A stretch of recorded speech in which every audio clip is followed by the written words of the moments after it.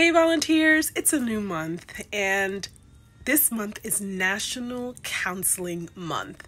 And you're probably thinking, like, okay, well, what do you mean by National Counseling Month? This month, we're celebrating talk therapy, and we're partnering with JB Counseling out of Atlanta so that we can go ahead and spread the word based on social good and your mental health journey or people's mental health journey. As we know, there's so many things going on in the world, and mental health is kind of like the basics of it all. And how do we, can we support that and change the stigmas around mental health, whether it's medication or talk therapy?